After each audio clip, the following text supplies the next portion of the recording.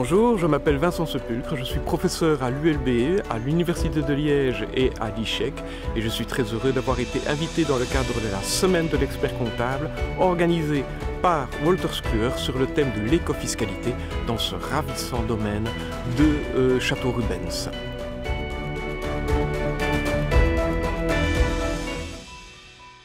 Vincent, bienvenue.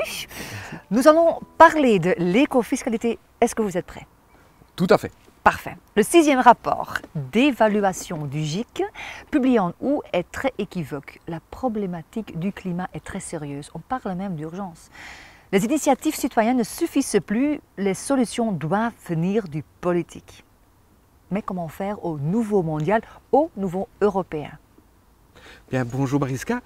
L'urgence, effectivement, elle est devenue indéniable. On a une urgence climatique. Mais l'urgence climatique, à partir de là, Mhm. poser le problème n'est pas le résoudre. Et donc, avant de parler des solutions, on peut effectivement parler qui va apporter les solutions. En réalité, euh, sur- si on prend ce problème-là de savoir qui, vous me dites les politiques. Oui. Euh, Ça, c'est peut-être déjà la première ambiguïté. Est-ce que c'est aujourd'hui aux politiques à façonner comme des fantasmes de Staline ou de Mao Mhm. la société de demain? Est-ce que c'est aux politiques à utiliser le droit, voire même le droit répressif, pour éduquer les gens comme étant des masses populaires, incultes Et ces gens, s'ils ne se soumettent pas à la volonté et à la vision du politique, on va en faire quoi? On les remet dans des goulags? Les éco-goulags bientôt? Non. En réalité, le politique a, c'est vrai, une responsabilité. Mais qui? Ben, D'abord et avant tout, il faut insister, ce sont les gens qui ont la responsabilité de l'environnement. Je vais prendre un bête exemple. Mhm. Près de chez moi, à Liège, il y a un parc, Mhm. un formidable parc. Dès que j'en ai marre de mes dossiers, je prends mon épouse, je prends les chiens et on va promener une demi-heure. Ça fait du bien d'aller Ouais. promener dans un parc avec des arbres, avec Mhm. de la nature. Et qu'est-ce que l'on voit? Parce que ce parc est juste à côté d'une école. Qu'est-ce que l'on voit lorsqu'on va promener à 13h30, 14h Vous aviez des bancs, Mhm. et ces bancs sont constellés de sachets de frites, de paquets vides, de papier gras, des restes de sandwich. Et, et quoi On va dire que la responsabilité du politique, c'est de nettoyer ce parc. À 13h30, il faudrait engager cinq éboueurs que pour venir faire le ménage, faire la petite conchita. Mhm. Bien non, le politique n'a pas à être la conchita du peuple. En réalité, c'est d'abord et avant tout une responsabilité individuelle des gens Mhm. eux-mêmes. Si, et je re- reviens toujours dans mon exemple, il revient d'abord aux jeunes qui sont dans cette école, lorsqu'ils viennent manger leurs frites sur le banc, eh bien, il y a une poubelle qui est à un mètre Ouais. il leur revient de prendre leur sachet, de le mettre dans la poubelle. Mhm. Et donc, autrement dit, est-ce que c'est le politique qui doit venir prendre, qui doit payer des éboueurs pour prendre ce que le jeune a laissé tomber par terre et le mettre à un mètre dans une poubelle? Non. Et donc, je crois que la première chose sur laquelle il faut insister, c'est la responsabilité citoyenne, Mhm. mais la responsabilité individuelle des personnes qui, si le GIEC est conscient de l'urgence, nous devons être conscients aussi de cette urgence. L'échec du GIEC, qui a des grandes réussites médiatiques, s'il peut y avoir un échec du GIEC, c'est s'il ne réussit pas à prendre les gens comme étant des alliés, comme des leviers dans le changement que le GIEC voudrait apporter. Sinon, le GIEC, c'est comme une chorale que vous entendez au loin, elle chante, mais pff, est-ce que ça change vos vies? Rien. Non. Vous écoutez gentiment, ah oui c'est beau, ah oui c'est gentil, ah il n'y a pas de fausses notes, ah c'est très très bien. Et puis vous rentrez chez vous et vous faites exactement la même chose. Mhm. Vous ne changez pas votre vie. Qu'est-ce que vous changez de vos vies? Et ça, c'est la responsabilité individuelle des gens. Je crois qu'il faut vraiment mettre ça au point de départ. Et puis après ça, on va parler du politique. Parce que le politique est subsidiaire. Mais que peut faire la partie Belgique avec sa complexité institutionnelle, pensez-vous? Ah, parce que là, la question est excellente. Dans notre complexité institutionnelle, la, la- la Belgique, l'État fédéral, c'est comme dans un sablier. il est au centre du sablier. Au-dessus, il y a l'Europe. En dessous, vous avez les régions. Et dans l'environnement, qui est responsable vis-à-vis de l'étranger? Ben, L'État fédéral, la Belgique, le royaume de Belgique. Mais chez nous, sur le terrain, qui est responsable de l'environnement? Les régions. Et donc, celui qui est responsable vis-à-vis de l'étranger ne l'est pas nécessairement vis-à-vis de l'intérieur. Ça ne facilite pas le travail. Notre Belgique, c'est un patchwork. Mais c'est comme ça. Qu'on l'aime, qu'on le regrette, là n'est pas le problème. Il faut être pragmatique et avancer, puisque ce sont ces politiques qui doivent prendre en main au niveau régional l'en- l'environnement, eh bien il est à souhaiter qu'on puisse avoir effectivement une meilleure coordination. Et je crois que le secret est là. La donnée institutionnelle belge, Mhm. c'est une chose. Le vrai problème, c'est l'absence de coordination. Quand on pense par exemple au niveau de la gestion du CO2 et donc de l'emission trading scheme Mhm. euh, en, matière de quota d'émission de gaz à effet de serre, on est toujours focalisé sur le CO2, ce qui est déjà une première erreur parce que c'est bien dénoncé par le GIEC, il y a d'autres gaz à euh, émission euh, Mhm. enfin, de gaz à effet de serre et des gaz parfois même beaucoup plus puissants. Par exemple, un que l'on met sur le côté, c'est le méthane, euh, nettement plus puissant que le CO2. Euh, mais chez nous, on, reste focalisé sur les CO2. Soit c'est euh, l'effet de Kyoto, bien que Kyoto avait bien énuméré six gaz à effet de serre dans son scope. Alors si on prend cette, cette lutte, comment peut-on croire que l'on va avoir une lutte contre le CO2 à la Wallonie et qui sera totalement différente en Flandre? En Flandre. mais non, si la lutte est le CO2, on doit d'abord avoir l'inventaire des mesures. Et là, à ce moment-là, on peut parler du politique qui doit prendre des mesures. Mhm. Oui, ok. Mais lesquelles mesures Mhm. Et là, la vraie difficulté, finalement, est de savoir qui? La difficulté n'est-elle pas plutôt de savoir quoi? Or, la difficulté, c'est de se mettre d'accord dans les trois régions du pays, non pas sur le qui, parce que ça c'est connu, mais c'est sur le quoi. Et Mhm. là où nous avons des divergences entre les, ré- dans- entre les régions. Ouais. Pourquoi a-t-on des divergences comme cela sur le quoi? Mais parce que les scientifiques eux-mêmes, les ingénieurs eux-mêmes, doivent dire ce qui est pertinent. Mais eux-mêmes ne sont pas d'accord. Et ça, en cela, dans la lutte environnementale, climatique, comme dans d'autres domaines, en réalité, on- certains entendraient euh, enfin, on- on- que le politique doit prendre des mesures, et Mhm. on est là toujours à se dire, le politique doit prendre des mesures. Ouais. Et donc le politique prend ces mesures. Ouais. Et alors lorsqu'il prend les mesures, elles ne plaisent pas. Eh euh, alors on fait quoi? On fait quoi? Le passé récent a montré que les mesures vertes n'arrivent pas toujours à leur objectif. Les subsides pour les panneaux solaires, par exemple, en coûtent bien plus que prévu aux euh, contribuables. Les mesures stimulant l'achat de véhicules électriques ne semblent pour le moment pas avoir l'effet voulu. Comment faire pour que toutes les mesures dites vertes arrivent à leur objectif? Excellente question. Parce que le. Comment dire On dira. Lorsque vous avez dit que les mesures n'atteignent pas toujours Non leur objectif, Mhm. ben, en français on appelle ça un euphémisme. Parce que, oui, à tout le moins, oui, on n'atteint pas les mesures. Pourquoi? Mais Parce que le politique, il prend ses mesures. Alors il est content. On lui a demandé de prendre des mesures, il a pris ses mesures, il a fait son boulot. C'est Ouais. terminé. Et on va vers les électeurs. Et puis le politique, finalement, la durée de vie du politique se résume à quoi? Aux prochaines élections. Donc il a pris ses mesures. Bah, tout après, on va voir s'il sera réélu. hein. Après, est-ce qu'il fera partie d'une majorité? Donc le temps politique est extrêmement court. Le temps du citoyen est nettement plus long. Parce que lui, le citoyen, il peut se dire, ben, j'ai une espérance de vie qui va jusqu'à 80 ans environ pour un homme et 82 ans pour une femme. C'est très bien. Donc on a un temps qui est plus long. Oui, mais le climat, lui, il est encore beaucoup plus long parce que le climat, on ne gagnera pas euh, une lutte climatique avec une génération, avec deux ou trois générations Ouais. de suite. Et donc le temps n'est pas le même pour tout le monde. Euh, donc c'est pour ça qu'on n'arrive pas toujours à avoir des bonnes mesures. Le deuxième impact, c'est on demande aux politiques, vous devez prendre des mesures. Et le politique, les- lesquelles Et là, nous avons deux pièges. Le premier, c'est que, à mon sens, une mesure, une bonne mesure, c'est-à-dire une mesure qui est susceptible d'être suivie par le citoyen, parce qu'au final, c'est lui qui décide.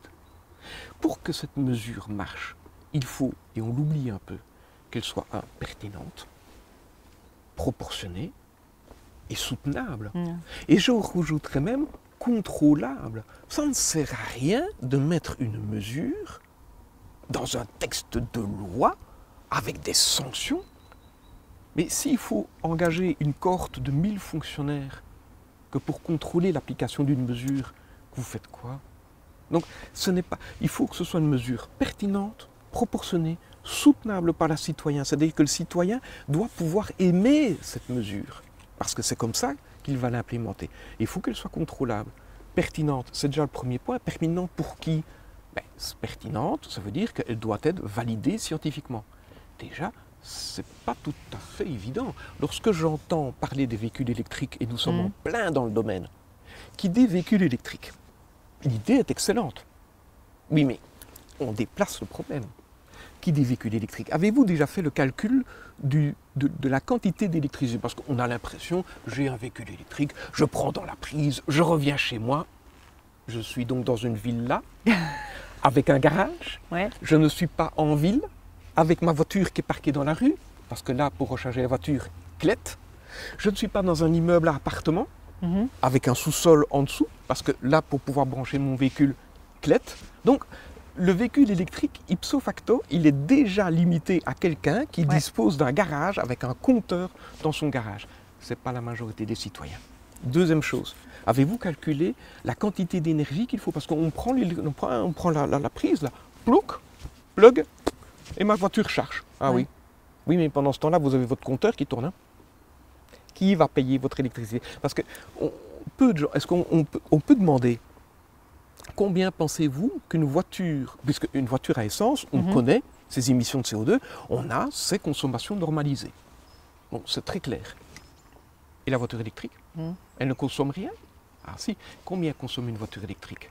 J'ai qu'une idée, mais 20 kilo- Au moins entre 20 et 25 kW au 100 km. Sachant qu'une voiture en Belgique circule environ 15 000 km par an, qu'il y a environ deux voitures par ménage. Parce que, par exemple, en Mhm. province de Liège, chez nous, euh, la distance moyenne entre le domicile et le lieu de travail, c'est 23 km. Si vous habitez, et les statistiques, enfin les, études existent, si vous habitez à 5 km, vous allez pouvoir Mhm. légitimement emprunter le vélo pour aller travailler. Et là, vous avez du succès d'ailleurs, sur le vélo d'entreprise. Mais 23 km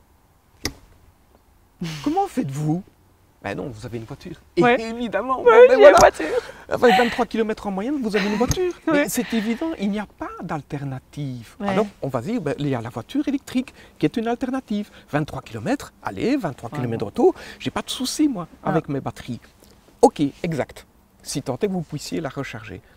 Mais en termes de consommation électrique, 20 kW au 100 km, sur 15 000 km par an, fois deux voitures, faites un petit calcul, donc vous prenez la machine à calculer, sur un ménage moyen en, Belgique, vous obtenez une consommation électrique de 3000 kWh par an.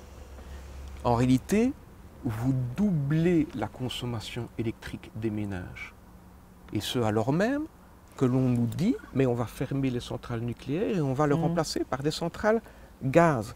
Mais on va donc avoir des besoins sur une énorme quantité électrique. Si tout le monde passe à l'électrique, la quantité électrique devient énorme. Et c'est au moment où on bascule dans les centrales gaz. Et ce matin, on annonce, attention, le prix de gaz explose. Et donc, attendez, si on est dans 2025 et qu'on a toutes les centrales au gaz, le prix de l'électricité explose également. Ouais. Et les gens se plaignent aujourd'hui qu'ils vont, qu'il y a une augmentation du prix du mazout à la pompe. Et donc voilà un exemple. Moi, je n'ai pas de réponse toute faite. Non. Et bien malin est celui qui aujourd'hui peut dire j'ai la réponse à tous les problèmes. Et donc le problème n'est pas la conscience environnementale, je crois qu'on a tous. Mhm. C'est de savoir quelles sont les mesures qui sont pertinentes et qui peuvent arriver à quelque chose d'intéressant. Par contre, j'ai un bon exemple de mesure Ah. pertinente, Quoi? d'une réussite environnementale. Et qui est une. C'est tellement passé dans les mœurs qu'on ne s'en rend même plus compte. Il y a 30 ans, vos poubelles, Mhm. tapiez tout sur le seuil. Dans un grand sachet, un sachet noir, un sachet Mhm. avec une grosse épaisseur de, de- de plastique parce qu'il ne faut pas que ça craque. Et alors, il faut faire attention, les chats en rue. que- Mhm. Donc, on faisait, on faisait des gros sachets plastiques et tout le monde tapait tout n'importe comment sur son seuil. Attendez, aujourd'hui, sac bleu, sac jaune, reprise des cartons, Ouais. recyclage, ça vient d'où? Et on oublie un tout petit peu, et c'est pour ça que je me permets, peut-être un peu longuement, mais de, de mettre à côté de ce qui, pour moi, est une grosse difficulté, parce que c'est idéologique sur les, sur les véhicules électriques, Mhm. on ne voit pas le vrai problème. Par contre, une vraie réussite environnementale, c'est un accord interrégional du mois de juin 1996 sur la gestion des déchets. Je vous ai un accord interrégional. Ça veut dire que vous avez le même accord sur la gestion des déchets dans les trois régions. Que toutes les régions ont implémenté avec le recyclage des piles, des battes, Mhm. les pneus, recytaire. euh, vous avez encore les, allez, euh, comment, les- les- même les emballages, Oui, récupel, oui. Récipac. Tout ça est né quand? En 1996, parce que l'on a mis dans les secteurs industriels et commerciaux des exigences en termes de recyclage. C'est une énorme réussite. Ouais. Parce qu'il y a cet aspect interrégional, parce qu'on a quelque chose de pertinent, où on a voulu lutter contre les déchets en mettant une obligation de recyclage sur les entrepreneurs. Bien vu, excellent. Et la mesure est tellement pertinente en groupant un petit nombre de personnes, vous n'avez pas besoin d'avoir une cohorte de fonctionnaires. Non. Et donc la mesure a très bien marché. Ok, Suivant. Le expert s'attend à ce que l'écofiscalité joue un rôle important dans le tax shift, mais si on regarde du point de vue des recettes fiscales, plus une entreprise pollue, plus elle paiera d'impôts. Est-ce la bonne approche? Et donc si je vous suis, plus une entreprise pollue, plus elle paye d'impôts. Mhm, Moins une entreprise pollue, moins elle paye d'impôts. mhm, Donc vous faites dépendre les recettes fiscales d'un État qui doit quand même assumer les pensions, les soins de santé. Euh, rien que les pensions et les soins de santé, ça mange la moitié des recettes fiscales en Belgique. hein. Bon, euh, il faut bien s'en rendre compte. Donc rien que sur deux postes, donc tout le reste se partage l'autre moitié. Donc il faut, vous avez quand même des recettes qui sont, oserais-je dire, euh, incompressibles. mhm. Et vous allez financer des dépenses, pardon, des- vous allez financer des dépenses incompressibles avec des recettes fluctuantes. Si je veux éviter l'impôt, Ouais. plus besoin d'aller engager un fiscaliste de haut vol que pour aller vous faire une optimisation fiscale. Allez chercher un ingénieur.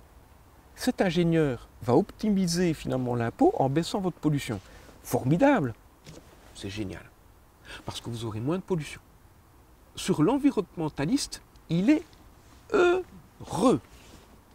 Mais par contre, le ministre du budget, lui, j'ai quoi comme sous? J'ai quoi comme argent pour les hôpitaux? Ben, Tout le monde a baissé sa pollution. À l'environnement, génial, Mhm. génial. Mais mes recettes budgétaires, zéro. Et donc, le- plus une entreprise pollue, plus elle paye d'impôts, c'est vrai. Mais, avec une nuance,